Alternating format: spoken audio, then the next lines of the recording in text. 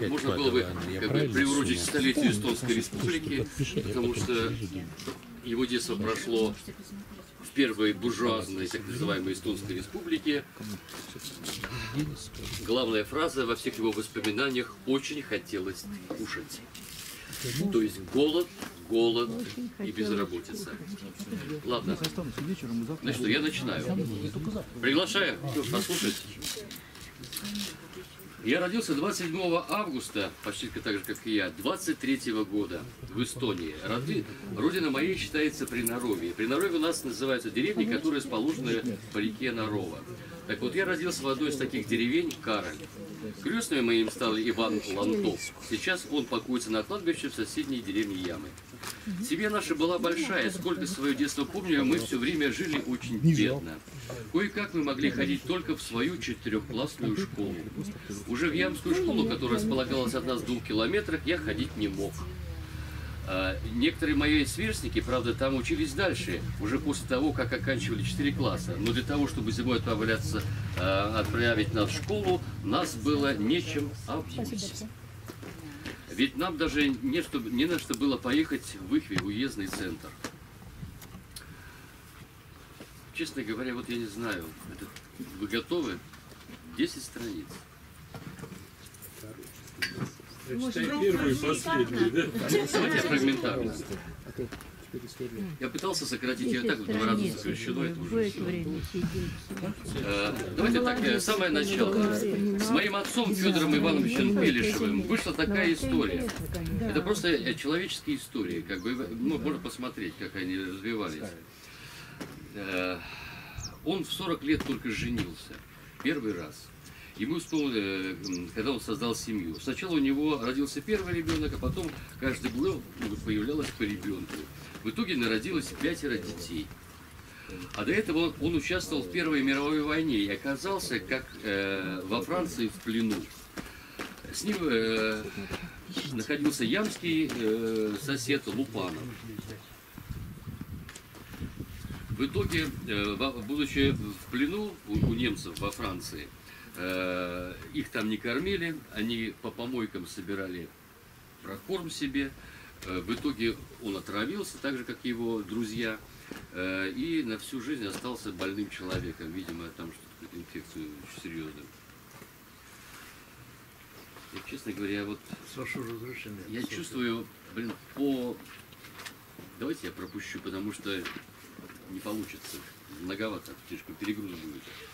Давайте я перескочу на последнюю тему. Давай на наши.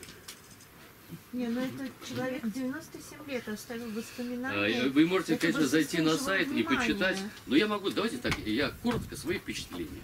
Ну хорошо.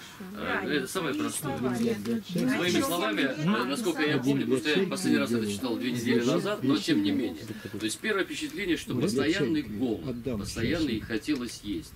Э, И э, когда э, произошла немецкая оккупация, ему было 17 лет. Э, До этого он уже поработал в городе, уже вернулся. Э, В На- в Нарве он поработал. Э, Эстонцы его взяли на Кринболь только потому, что он до этого потрачил на эстонском хуторе э, и худо или бедно овладел эстонским языком. И мастер, который брал на Кринболь, ему сказал, «Ес- э, я тебя не возьму, потому что ты русский. Он говорит, а я знаю эстонский. И он тогда его взял. Э, И когда он вернулся в, оккупацию э, к родителям, э, в- потому что в, Нарве уже даже разбомбили как бы хлебозавод, это, ну, скажем так, по-другому назвал его, да, то он здесь не зарегистрировался. То есть обяза- обязательно надо было зарегистрироваться. И э, кто-то ему сказал, что здесь действует партизан. 17 лет. Это же, знаете, что такое? Это, ну, конечно, они немножко повзрослее были, чем наши нынешние 17-летние, да? Э, Инфантильные молодые люди. Э, Но, тем не менее, они куда-то пошли, и их перехватили полицаи. Ну, немцы, короче, ну или там амакайцы, я не знаю, кто там. Короче, их арестовали, отправили сначала в одну тюрьму, избивали, они все перебитые до полусмерти были. Потом посадили их в вагоны 17-летних парней, э, э, ну там и взрослых тоже, и отправили в Германию на работу. На улице уже была осень, ему повезло, что был у него полутулуп, э, а так некоторые были по-летнему одеты, и уже ближе где-то к Польше поезд остановился, и из вагонов просто умерших и замерзших непонятной станции э, выгружали, как говорится. Э, И потом уже он проработал в Бельгии на немцев, освободили их э, американцы, э, накормили досыта. Впервые в жизни он увидел конфеты. И сказали, потому что говорит, мы в магазин не ходили, потому что магазин в ямах был для тех, у кого есть деньги. А у нас не было денег, поэтому мы в магазины никогда не ходили. Нечего было покупать. И потом американцы спросили у него, «А куда вы хотите? Куда мы вас и отправим? Он говорит, «Ну, куда? Нам в Эстонию, в Нарву надо. Куда же? К себе домой. И тогда они на самолете их там какую-то группу с товарищами довезли до границы Украины, в в- на аэродром военный какой-то. А здесь вы уже, понимая, вас поймут ваш язык, домой вы сами доберетесь. Так он и вернулся. А, Конечно, здоровье он э, подорвал. Рассказал, как издевались. Э, э, из Эстонии оккупанты. Что-то напоминает, конечно, немножко сегодняшние времена, подъезжая к Ваздарге, немцы вывозили из Эстонии скот и лес. Вырубали только так. И сплошными эшелонами из Эстонии. Ну, Что-то напоминает сегодняшний день. Что-то какое-то дежавю. А, Вот, и когда их отправляли, допустим, то а, а, какой-то, когда их когда-то пе- пе- перевозили из очередной тюрьмы или в Германию тоже, п- их везли вместе со скотом. То есть в этих вагонах были животные, но их не кормили. А везли животные, там вагоны с лесом и бочки с соль- соленой салакой. При этом воду не давали. То есть, но они сами сообразили, что это есть нельзя, иначе мы умрем э, ну, от жажды.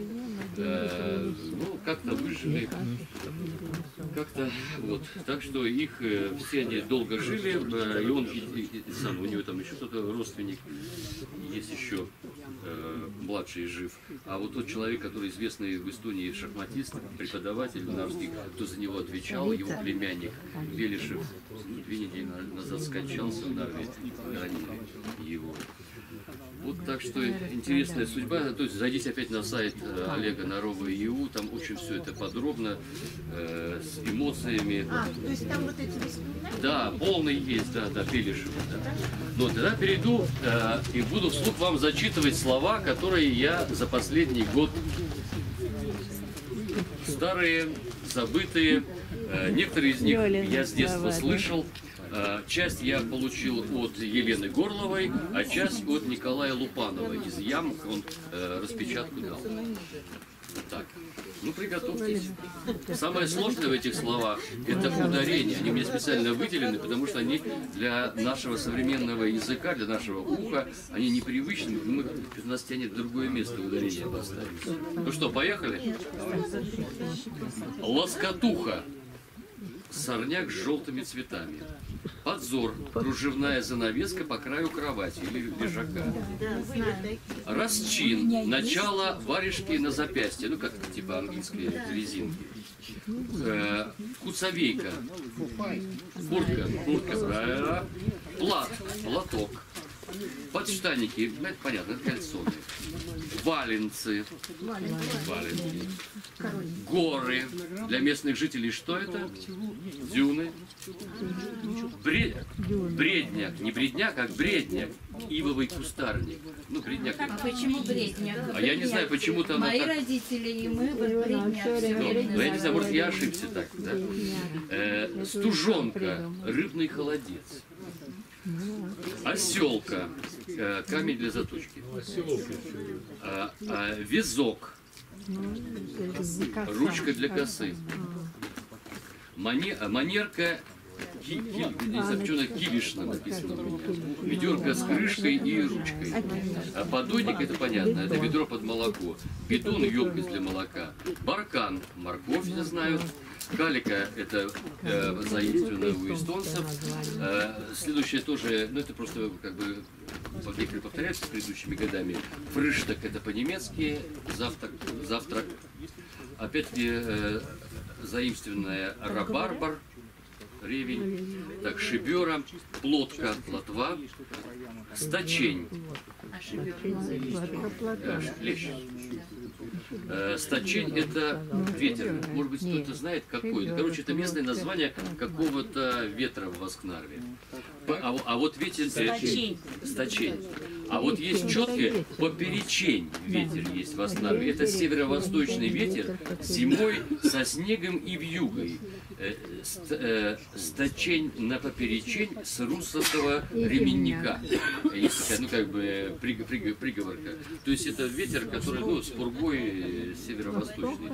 А, ну, дранка это, или лучинка это покрытие для крыши.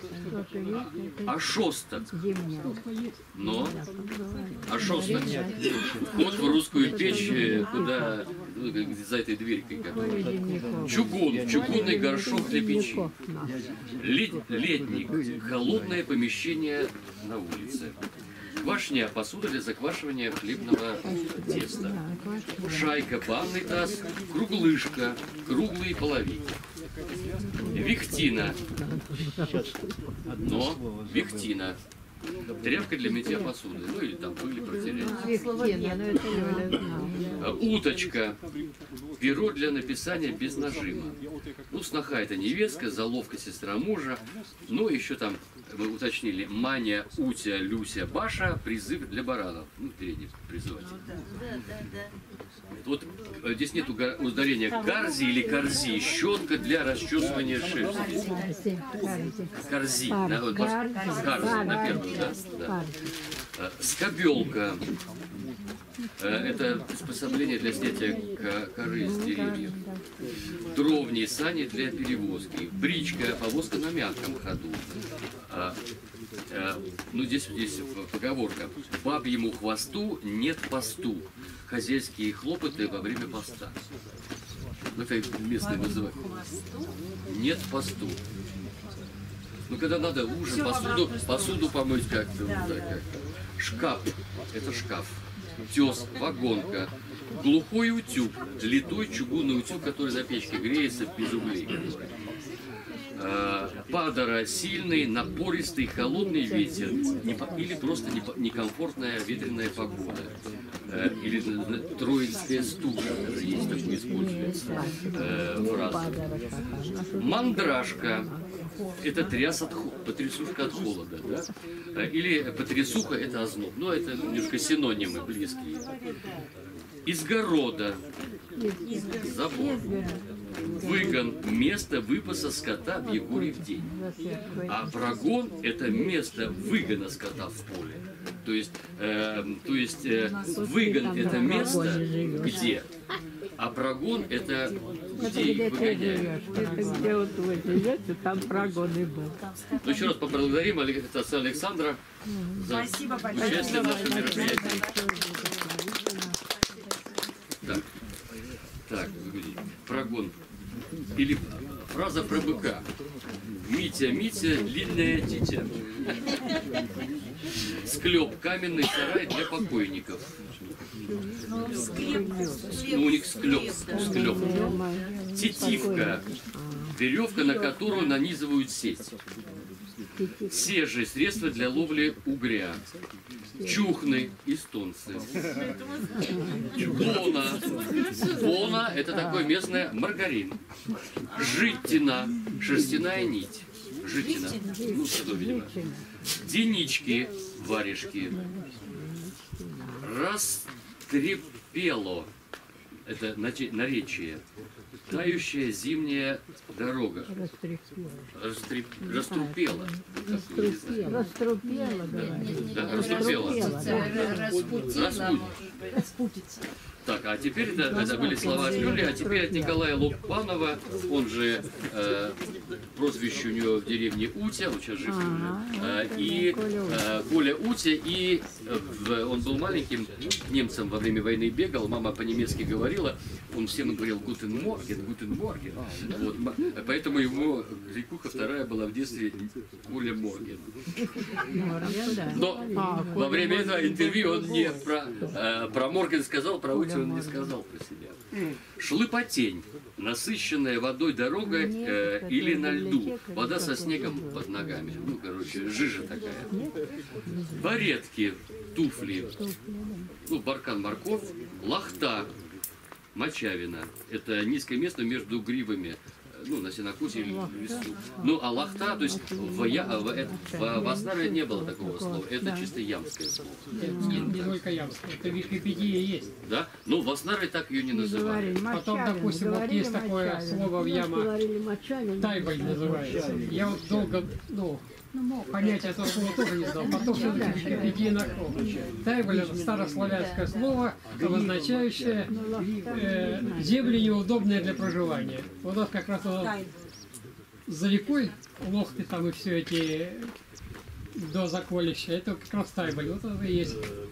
Понял. А вот э, э, я тоже по поводу этих э, наборов этих всяких слов. Вот в самом начале я вам говорил, что здесь бе- беглые крестьяне аж с Дона. Они же все сюда пришли со своими словами. Ну, конечно. И это все перемешалось, и де-факто здесь, скажем так, ну, многие слова, которые люди, грубо говоря, 30 километров не поймут, что это значит, потому что это чисто местный язык, который специфический. Так, нарост, ну это скопление рыбы во время нереста. Раюша, просека в лесу, набрякли, Раюша, набрякли, ну, наполнились водой, ну как вы понимаете. да. Адонье, основа стога. А дома это вот пар поднимается из земли, нет? Нет, Адония основа Адонин стога. это от стога. От стога, основа, основа, Адония. там От основы. На нескольких местах, чтобы сток места делали из прутьев. Вот это Адония называлась. Да, да, то чтобы не гнило, да? поднимали Ну да, чтобы не гнило, вентилировалось. Лытки. Это, извините, ляжки. Это ляжки. Э, э, Здесь нет угаре- ударения. Тягухи, кожаные рукавицы. Э. Серянка, спичка, ну это я слышал в детстве. Очахла, обсохла. Озорки, озороки, или озороки, глаза. Э, Кирябливая. в адрес женщины. Кирябливая, неопрятная. Гуньба, тмин. Теребливая. Э, сярясина, дубина. Типа сярясина сейчас как тебе, понимаете, да? Так, А разгон. а еще говорят, Арясина, вот что. Арясина. Вот Арясина, как дам, так вот это, да. дубина. Вот это может быть. Так, разгон, веревка для невода, смунить, раздергивать шерсть, печайник, захват для сковороды, Да, э, зорко, ослепительно, наиспашку, косой удар, вережаться, вережаться, да, насиловать себя работой. Держаться надо через силу. Да, вот о чем мы сегодня говорим, вережаться, да. Заметать, поставить сеть, убрежаться, хлопоты по хозяйству вечером. То есть хозяйка, ну, там, доделать вечернее, заготовки на утро, вережаться. Вообще упредить еще ботву, когда закапывают, тоже упредить называется. Да. Упредить, тут закапываешь ботву от картошки, упредить. Это бабка моя так говорила. Сколько я много в жизни пропустил. Видимо, я никогда этого не делал. Не копал. Неважно, в доме там или... Это убредить и убрежаться. Я убрежал, разные планировала, чтобы я правильно все это. Ну, это, короче, хлопоты, по- хозяйские хлопоты, да? Наведение порядка. Наведение, да, да. Тоже можно сказать. Убрать глаз. Спрятать, брять, брять. Вирка, ряд сетей. Вирка, когда ряд сетей. Умачка. Вот это есть и в Оснарве, и в Ямах. С рецептом. Это еда. Картофельный соус с салом э, А и молоко. да? А мачка. А мачка. А. А да. Типа, есть французский, а здесь есть местный соус. да. Берешь сало, А на э, ну, белутки или бельмы, глаза. Белутки, бельмы. Журавица, ну все знают, что это такое, это клюква. Э, А еще журавицы называли вот дети, когда Да. бегают, и вот у них эти от Цыпки, сырости цыпки вот эти э, журавиночки, красные пятна, там. трещинки на ногах. И вот всегда родители кричали, ругали. да, это Опять в журавицах пришел. Да, да. Но это к тому, что цвет ног был как клюква. Красненький, да, да, да, да. А журавица это клюква. Журавичник так оно и есть, это клюква. Забег, забереги. Или забереги. Лед у берега. Лед, ну когда открыто. Лухмоватый. такая. Рассеянный. Оплеуха. Не сильный а? У бабок, ну это подберезовик. Походня. Шнур для установки сети подо льдом. Ну, это вы знаете. Мура. Окрошка. Рецепт. Вода, уксус или лимонная кислота, хлеб, зеленый лук, яйцо. А, то есть это такая, да. Скромная. Это это. Пасхальная, как- тюря, когда пост. Это действительно мура. Так, пятры. Ну, пятры. Сеновал. А вот есть слово, которое э, э, я не мог прочи- э, Николая прочитать, э, там э, копия фото. Подмоток. Подмоток. Подмоток это на Чудском озере, когда на секуху ловишь, одна палка у тебя на чем леска ты кивок, а вторая палка подмоток, когда начинаешь леску вытаскивать. А, все понял. Чтобы быстрее вытащить, да? Ну. А, ну все понял, это геометрия, чтобы быстрее. Не на руку крутить. Да, да, да, да, да. Так, подчивать, угощать. Килоса. Килоса. Это Куча снопов. да. Это куча снопы, Снопы, когда... когда складывают в Да. килосу. Да. Снопов. А, Поголешка. Наверное, Верх носка. Вверх носка. Откуда видны эти самые... м, э, Сыпки. Носок Как его? Не, не цыпки, как ты Сыпки говорила. тоже, это вот самое. как жура... Жура- журавицы видны. Да, журавицы, как и сыпки, одинаково, да. Мякуш- э, мякушка. Хлеб э, без корки. Ну, ну, Нет, мякушка, извините. Вот. Густяха. Ну-ка, Бедная куш- кто А? в счастливые эстонские времена жил? Ой, густяха, да, да, что, да, это, да, что это за при- прелестное блюдо? Каша из каша. муки. Вот кашу делали Да. сырца. Чуть проглядела, потом как кирпич, наверное. да. Да, Дяницы или денички. Это варежки тоже. Это псковский наречие. Вот это, вот это слово, это художественное просто. Я думаю, только его с подготовкой. Крапустепа... Крапустепальненько. Я. Очень маленькая. Положить. Воложить. Что это такое? Положить. Воложить. Во что-то положить. В смысле, в еду. Масло в Масло в кашу. Масло в кашу. Воложить. Положить. А, поволожить, а я слышу положить. Лалаки. Лалаки. Десны. Смурной, хмурый. Пелька. В лодке для воды. Опорки. Сапоги без голенищ. Это Сеть тройная какая-то. Вязанка. Шерстяная кофта. Ба- Барбрюдки. Двойной подбородок. Пермище. Барбрюдки. Пермище. Зыбучее место в болоте. Да. Гамаши. Ну. Туфли. Туфли там. Туфли. Баретки. Муж- Мужские, мужская обувь, в общем. Чуть повыше, вот так, вот так. Я тебе пришлю. А гамаши еще резиновые называют. Я тебе пришлю, короче. я пришлю тебе файл, ты А, д- д- ага, допишешь. Я соединю с предыдущим, там у меня там уже У там. меня дома есть, я, я не подумала взять с собой. А вот ты- а ты соединишь, не приходит. На, навировать. нанизывать, Нанизывать, Нафировать? навировать. навировать. Ну. Ну, как сказал, Следующая книга будет «Словарь местных слов». А так, везель или, э, или вязень. Э, Грязь на дне реки. начать. Загничать. Затапливать, растапливать, печь плиту. Рисуй. Ну, если Ну, Закол, закол, сеть на обручах. Рисуй. Отудобил. А нет, оттуда бил. А, оттуда. Вот А, видите, бы. одарение неправильно не понимает. Уже не понимает. Выздоровел, значит. Оттуда. Только Типа, что-то меня оттуда било. Я уже А оттуда зубел, значит, уже не выздоровел. А зубел уже не выздоровел. Вот еще. Прямизина.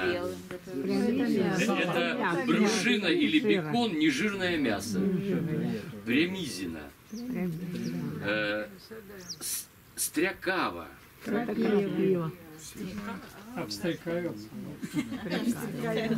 Ну, знаете такое слово. Повадился или оповадился, зачистил. Гости.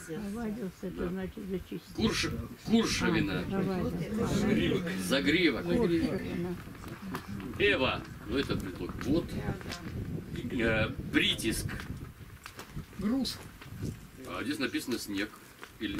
А Притиск. притиск, груз, да, вот, Прииски- Притиск это Притиски. бочки на крышку какой-то груз, который. вот По написано притиску, как говорят. Понял. всегда мама говорила, это как бы, притиск надо положить. Ну, азоник, вы знаете, Груз, 200, да, как? примерно 200 грамм водки.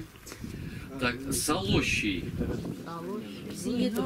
Правильно, всеядный поров или человек. Так, эм, пере, перелякаться. Переликаться. Спорить, да. Большина. Это Э. Кусок ткани. Раньше была льняная ткань, кусок ткани, да. Большина. И последнее слово тивка. Тонкая веревка. Чего? Как? Тивка. Но это из ям, это Коля, извините. Тивка, тетивка. Что? А, еще могу э, парочку У добавить. меня нету ручки. А я тебе дам. Так, ну давайте. я- Допустим, трепки. Трепка. Знаете что? Сначала дай ручку, а потом говори. А, на, ручку. Уже дали, спасибо. Как, как слово? Трепка. Крепко? Трепка. Трепка, Т, Т, Т. Или трепки. Это лестница, вот ступеньки. По трепкам а заимствовано от эстонского языка. Кто знает слово, Ступеньки, да, пошники. ступени. А копли? Трепка. Копли? Мы пошли на копли.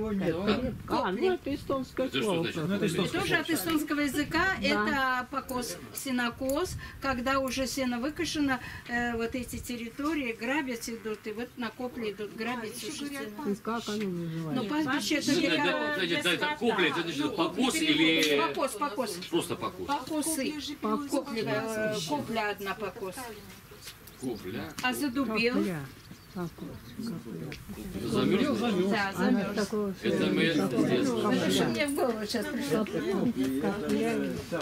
Так, ну какие там еще слова у вас И были? коровы Так, по потом, поводу да, э, да, да, э, тивка, веревка тонкая, или тетивка, или как? Тетивка. Тетива. Те, Тетива. Тетивка. Я тоже думаю, как-то странное слово Да, будет. да, да. да, да. И копли еще и туда после покоса э, коров отправляли на Около тебя там. Вот на скошенные покосы отправляли коров. Это тоже копли. Коров на коплю отправляли. Значит, тогда это правильно скошенный, скошенный покос. Скошенный покос. Ну, это разные вещи. А пастбище литературное. Нет, на пастбище, на пастбище не косили. Нет, это коровы сами. Да, это разные вещи. А там, где косили, это косили. То есть потом, да, коровы там могли, когда а там вырос.